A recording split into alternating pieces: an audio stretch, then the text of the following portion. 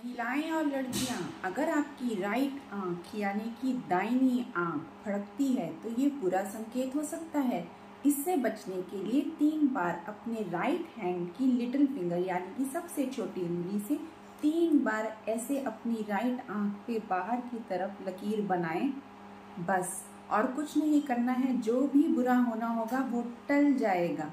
like and share ऐसे ही अच्छे tips और ट्रिक्स के लिए subscribe incredible remedies thank you